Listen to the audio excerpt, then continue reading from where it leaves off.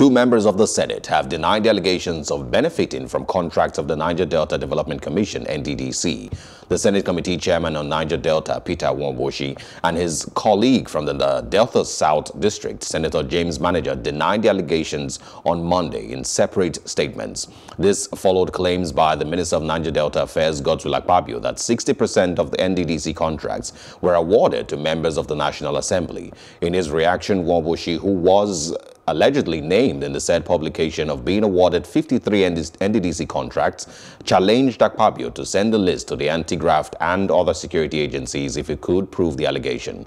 He described the claim as unsubstantiated and accused the minister of having an agenda to continuously blackmail him, while manager maintained that he does not know of any company owned by him that has ever gone into bidding of government jobs anywhere in the world. He also challenged his accusers to provide a detailed description of the contract contracts, names of the companies, and beneficiaries of the payments. Joining us live is Ezekiel Nya-Etok, a public affairs analyst. Thank you for joining us, sir. Thanks for having me. Good to be with you. You're welcome. What's your take on the back and forth between Akpabio and the senators? Um, the very first thing is that um, we unfortunately live in a system where we, we play the ostrich. We know the facts, we know the truth, we know the details, where we pretend that we don't know. I think that for, for once, the, the National Assembly members should just give us that benefit that we are intelligent people. We all know that the level of pressure that they mount on every parastatal and agency is almost inhuman. We know that, but we understand why it has to be so, unfortunately, because members of the National Assembly pay through their nose, they mortgage their future literally to get into the National Assembly. And once they get in there, they either have to recoup what they had spent or they have to prepare for the next election because elections are extremely um, uh, expensive. Yeah. So what do they do? They, they are not so stupid as to now present their papers and then say, award me this contract. They get this contract. What, what was the problem between the, the Minister of State for for for um, trade, not not trade, um, uh, distinguished, uh, not distinguished, um, SAN um, about the 774,000 jobs. It was that the percentage that they asked for was not enough. Yeah. Now, symbolically, the issue is this. They go through their cronies, and I want what to be done is this. It's very simple and straightforward.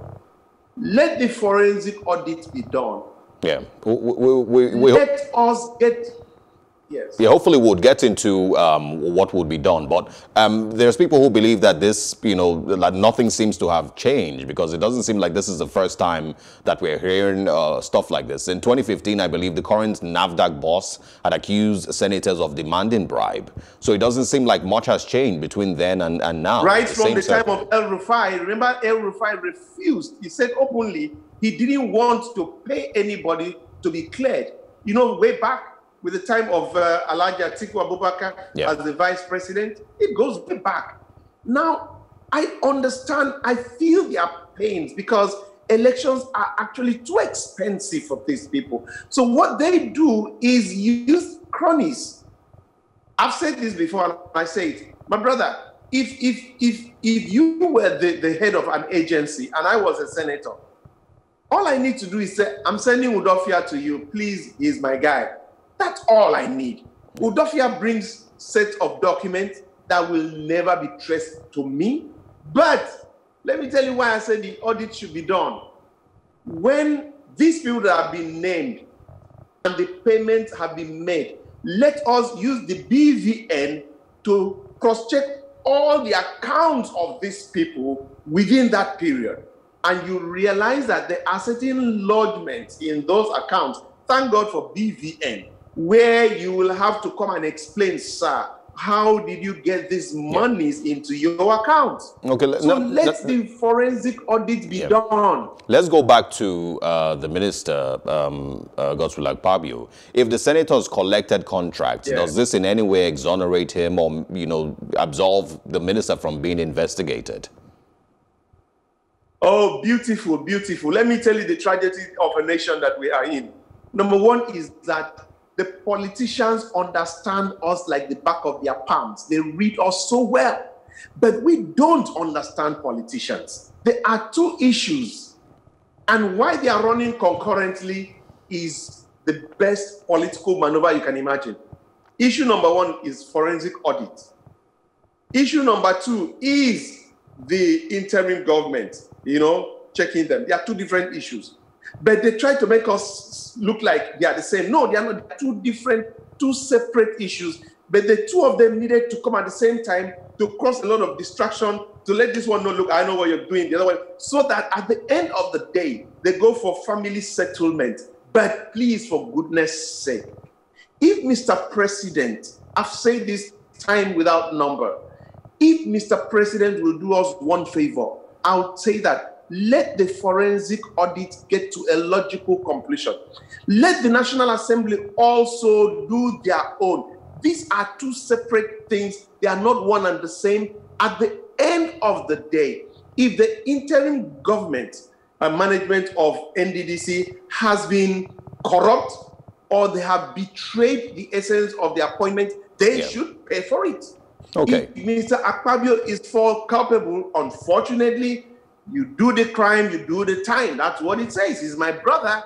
But at this point in time, I want to believe that he is clean, like he says. But if unfortunately he's not clean, brother, at this point in time, it's not about individuals. It's not yeah. about Senate President. It's not Speaker of the House. It's not about Chairman of Committee. It's about the corporate destiny of a people of the Niger Delta. Now, so I, we don't I want, want you to, to listen to anything about, uh, it seems, we don't want to hear anything about, yeah. you know, we'll settle it somehow. Now, now, I want you to quickly speak on something that I, I feel a lot of people are not, not very clear on. What is the real implication of senators receiving contracts? Is it in any way illegal? Um, can they, as maybe private citizens have their own um, um, um, construction companies, I, I, I guess, um, and receive contracts on the side. Is it illegal in any way?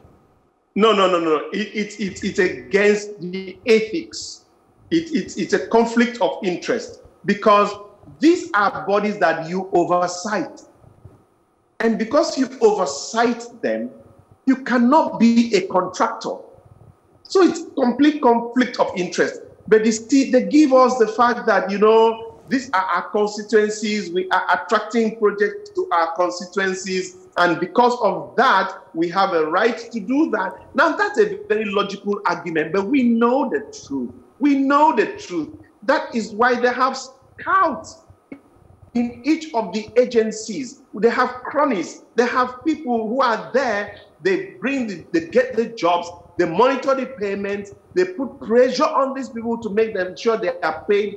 And because of that conflict of interest, there's always a situation where the why has the NDDC been the way it's been over the years? Why? I think the lawmakers who have been doing oversighting and they are paid. You know, the three basic functions of the lawmakers lawmaking, uh, that's law legislation, there's oversight, and there is um, the third one, I, I can't remember right now, but Oversight is what representation, yes, lawmaking, oversight, and representation. Now, you cannot oversight effectively as one of your three major cardinal objectives if you have jobs being done there because there's only compromises. It's a conflict of interest. They can't. And the moment you stop that and it is stopped, you realize that people are no longer interested in going to the Senate. I'm telling you this.